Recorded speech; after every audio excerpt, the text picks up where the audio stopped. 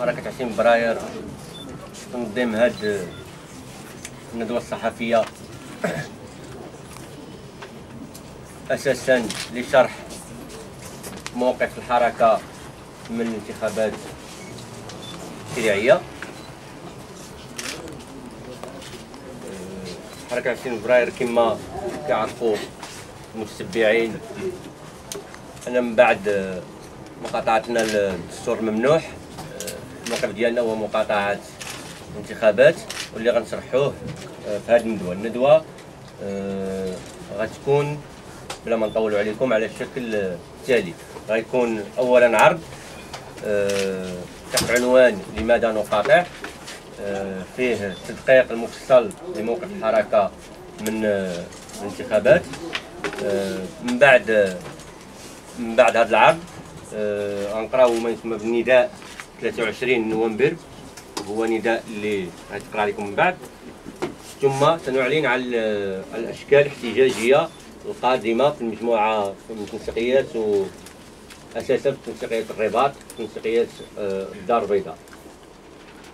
دونك بلا ما نطولوا عليكم هذا هو البرنامج ديال هذا النجم Euh, au nom du mouvement du 20 février, on souhaite euh, la, bienvenue à tous euh, les amis euh, journalistes de la presse nationale et étrangère à ce point de presse organisé par le mouvement à, deux jours des élections législatives qui se tiennent après-demain, le 25 novembre. Et donc, le, point central de cette conférence de presse, c'est bien d'expliquer pourquoi nous boycottons ces élections et pourquoi nous appelons les gens à boycotter ces élections. Bien évidemment, nous annoncerons à, à la fin de, de- de- de cette, de cette session euh, notre plan d'action pour euh, l'après-élection. et on passe tout de suite euh, à, à l'exposé de, de- de- du, du pourquoi, du comment de- du boycott des élections avec euh, notre camarade Yassine Bezzaz qui va l'exposer en arabe. آه، صباح الخير عليكم آه، مرحبا آه، بالصحافة آه، سواء الوطنية ولا الدولية وكذلك الملحقين آه، تابعين للصحافة للسفارات آه، اولا الندوه الصحفيه آه، تجي في السياق آه، كيف تعرفوا التعتيم الإعلامي على مواقف الحركة وعلى منها منعها من التعبير في الإعلام العمومي المغربي. آه، باعتبار حتى الإعلام العمومي هو آه، آه، تيتمول من فلوس الشعب ورغم ذلك آه، كصوت وكقوة معارضة آه، تنتمنعوا من أننا نعبروا على مواقفنا. واللي هي جزء آه، من معاناة الشعب اللي تنقلوها آه، باشكالنا وبمواقفنا وبنضالتنا الاحتجاجية. دونك غادي نمروا بشكل مباشر للعرض ديالنا حول لماذا نقاطع الانتخابات التشريعيه المزمع. آه، آه، تنظيمها في 25 آه، نوفمبر.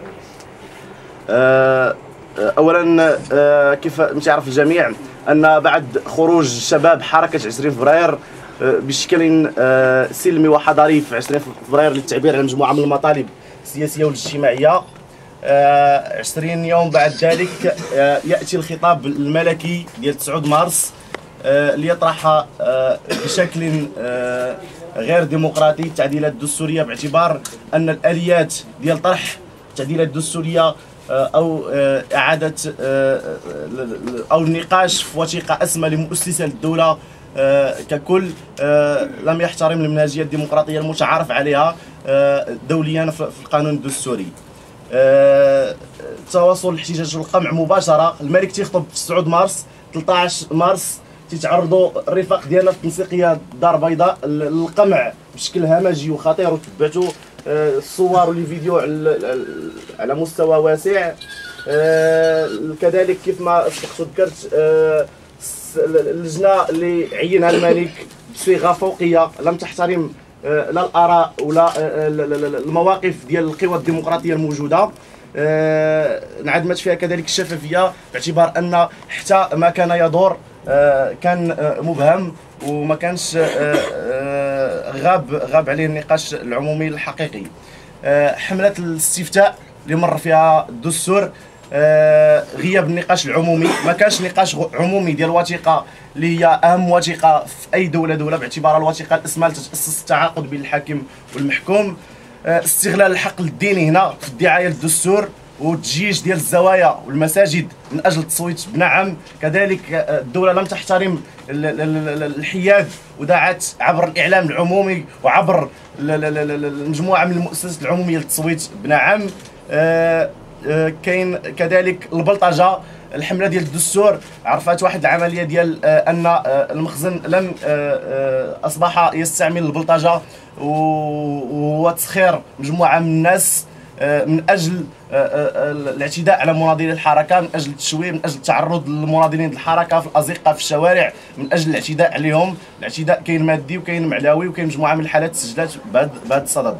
كاين الحرب الإعلامية كذلك. آه، الإعلام العمومي كيف ما تعرفوا أن في المغرب ما عندناش إعلام خاص عندنا تحدث على التلفازة بالخصوص. آه الإعلام العمومي آه آه تيتسخر لتشويه صورة الحركة ولشن الحرب عليها وعلى النشطاء ديالها. وهذه الحرب الإعلامية كانت فيها مجموعة من الاتهامات اتهمونا بأننا آه، آه، مثليين جنسيا اتهمونا بأننا ننتمي إلى البوليزاريو. اتهمونا بأننا إسلاميين متطرفين اتهمونا بمجموعة من الاتهامات واللي كان آه، المحرك ديالها الأساسي هو المخزن آه الأرقام آه الأرقام ديال الدستور كانت أرقام خيالية. تذكرنا بالعهد ديال الحسن الثاني والديمقراطية ديال الاربع تسعات. وبالتالي كانت الحصيلة نفس الحصيلة تماما. على مستوى الواجهه الدستورية اللي تقدمات آه، في نظرنا آه، لم تأتي بالجديد باعتبار أن آليتين جديد آليتين المعتمدتين في الحكم على أي دستور واش ديمقراطي ولا غير ديمقراطي. الآلية الأولى هو عدم تحقيق فصل السلطات باعتبار أن المؤسسة الملكية لا زالت متدخلة في المجال التشريعي عبر سن الضهائر عبر توجيه آه، البرلمان بخطب آه، ملكية آه، عبر أن الخطب الملكية التي تفتح بها الدورتين البرلمان لا تناقش والعملية تعيدنا القرون الوسطى القران اللي هو القران ولا الديانات السماويه وتناقش والخطب الملكيه في المغرب لا تناقش. عدم ربط المسؤولية بالمحاسبة. وبالتالي هذا مطلب كان محوري آه، سواء لا داخل الشارع باعتبار أن كان آه، الحركة طالبت بأن من يمارس السلطات من يمارس الاختصاصات في هذه البلاد خص يتحاسب. وهذا آه، آلية أساسية في الاعتماد وفي الحكم على نظام واش ديمقراطي ولا غير ديمقراطي. هذه العملية غيبة في الدستور باعتبار أن الملك لا زال يهيمن على أغلب المؤسسات وأغلب الصلاحيات ولا زال ذلك فوق المحاسبة وفوق المساءلة. استمرار رموز الفساد على رأس السلطة. مازال الهمه حاكم مازال المجيدي حاكم مازال العنيقري مازال حسني بن سليمان مجموعة من الرموز الآن المتورطة آه، آه، سواء في الفساد وفي نهب المال العام ولا المسؤولة عن الانتهاكات الجسيمه آه، في سنوات الرصاص لا زالت على رأس راس وهرم الدولة. محمد منير المجيدي هو الكاتب السكرتير الخاص ديال المؤسسة الملكية هو المكلف بتدبير الملف الاقتصادي في البلاد والمتحكم في اللوبي ال holding اللي تتحكم في 60% من الأسهم ديال البورصة ديال الدار البيضاء آه، اللي هي المؤسسة الملكية اللي تابعة لها شركة holding.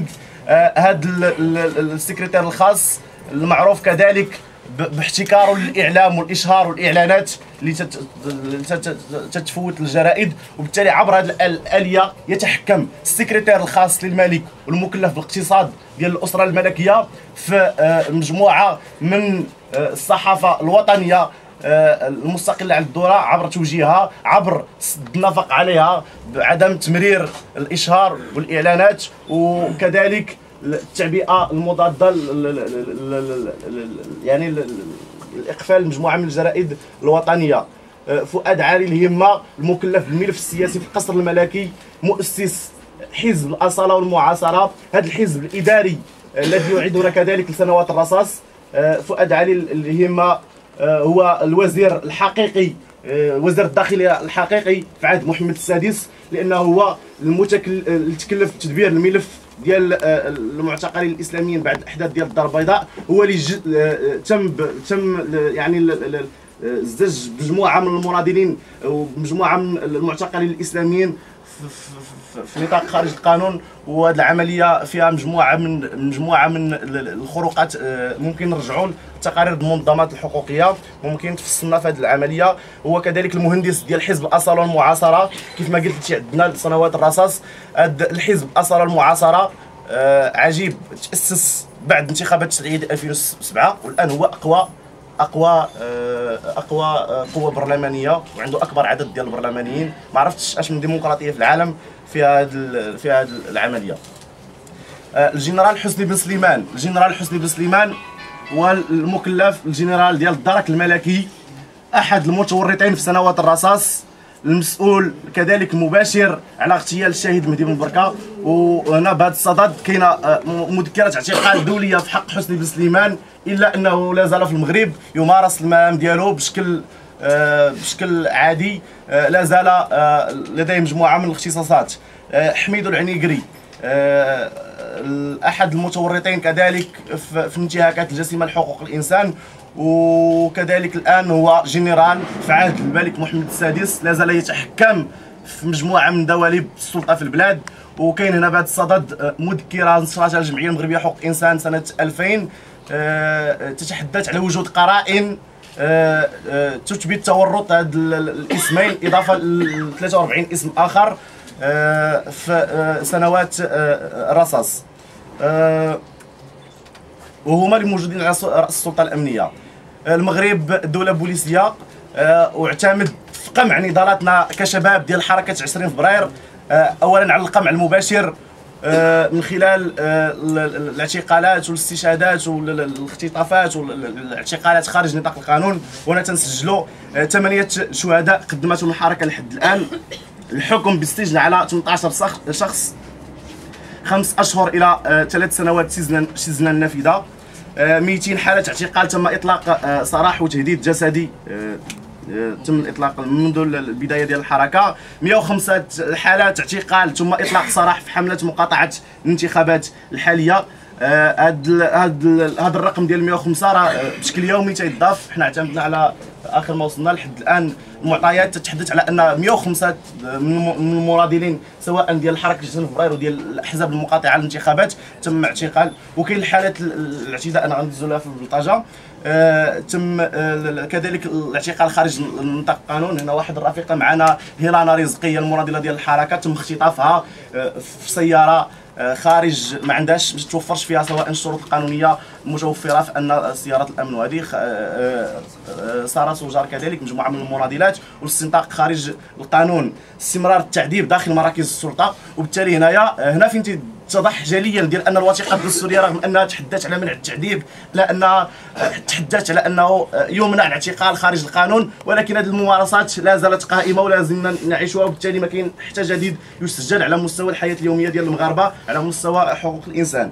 حالة سجن الفنان معاذ الحاقد هذا أحد فناني حركة 20 فبراير هو الرابور ديال الحركة ومناضل الحركة في كازاتي تم اعتقاله نظرا لأنه تعبر على مواقفه وعلى المعاناه ديال الشعب ديالو. بمجموعه من القطع الموسيقية وبالتالي المخزن توصل لدرجة أنه أصبح آه، يعني يعتقل حتى الفنانين والمناضلين الذين يبدعون في الشكل المتعلق بالإبداع داخل الحركة. آه، وكاين الحرب الإعلامية كذلك حتى هي جزء من آه، القمع الذي يمارس عليه وأنا تحدثت سابقا على التشويه ديال صورة المناضلين الحركة. يعني مجموعه من الملفات الآن تلصقوا المناضلين الحركة. ناهيك على أننا شواذ وبوليزاريو ومجموعة من الاتهامات الإعلام العمومي كذلك لا يغطي الاحتجاجات.